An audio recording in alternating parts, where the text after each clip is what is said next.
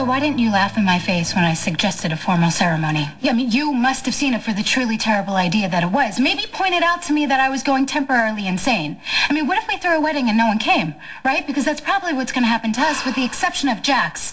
Of course, because he wouldn't miss the opportunity to spit on Sam, me. I don't care how how we have this wedding. We need to get married for the baby, okay? Okay, I got that part. And I agree, but we don't need a formal ceremony, a, a church wedding in town to make that happen. I mean, we can go to Atlantic City or Mexico, Vegas, anywhere, anywhere but here. Okay. I just don't understand what you're suddenly so scared of. Oh, I don't know, maybe being struck by lightning or something.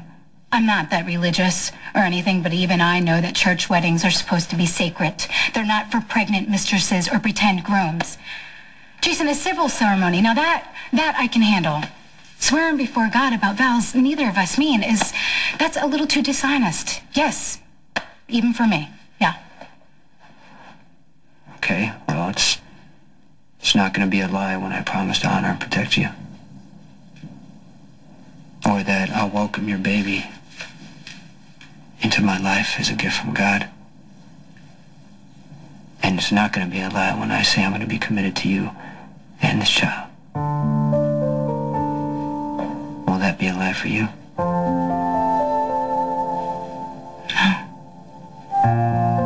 Then it's a real wedding, Sam, no matter where we have it.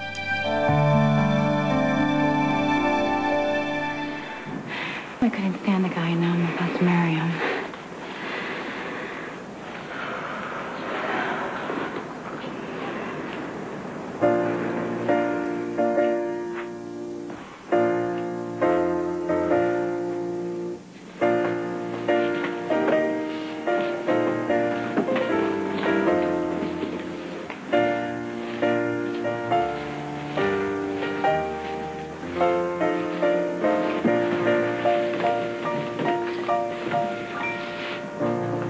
Beloved, we are gathered here in the sight of God and this company to join this man and woman in holy matrimony. If there are any here present who can show just cause why they should not be wed, let them speak now or forever hold their peace. Therefore, having come together freely and without reservation, Jason can't marry Sam. He's already married to his real wife. Jason's divorce from Courtney isn't finalized. There was a problem with the paperwork. Isn't that right, Edward? Okay, I'm sorry. You know what? Uh, the problem she's talking about has been handled. What? if there's any question about the legality of this union, then... There isn't. I have written confirmation from Judge Hernandez that Jason's divorce is final. He's free to marry. I also have executed paperwork here if you'd like to see it. That won't be necessary.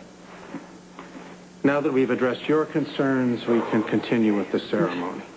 Therefore, having come here freely and No, no, no, no. You know what? I object. This whole ceremony, it's a sham. And if you perform the ceremony, you're a hypocrite. Carly, that's you're not, enough. You know it's not even enough. Sam is a liar. She's a user, and I'm not going to sit back and watch you throw your life away, Jason. I, I need to handle this. I would think so. Everything's gonna be okay, I promise.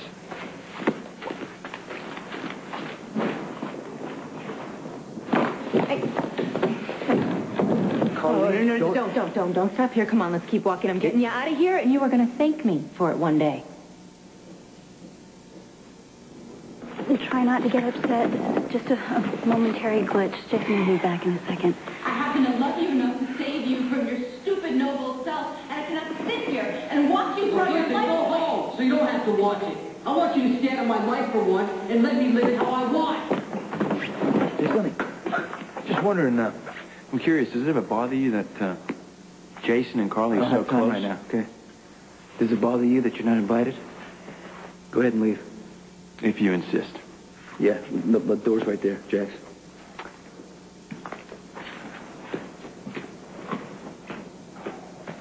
All the hell we've been through together. All the times that we have taken care of each other. It has got to count for something, Jason. Please, if you have ever trusted me in my life, trust me right now. Do not marry this Carly, woman. I get that you're trying to help, but you're wrong. Sam is not trapping me. I want this. How can you? How, you don't love her? She's not going to make you happy, Jason. She's not going to stand by your side. She is not going to be loyal to you. She is just going to use that baby. And she's going to work you for everything until something better just Sam comes along. and the baby need me. And maybe I need them too. You know what? Remember our first bet? 20 bucks. I'm gonna bet you 20 bucks that this all works out. I can't take your bet, There's. You don't have a prayer in the world. Take thee, Samantha, to be my wife. For better, for worse. For richer, for poorer. In sickness and in health. For as long as we both shall live. Samantha, take thee, Jason,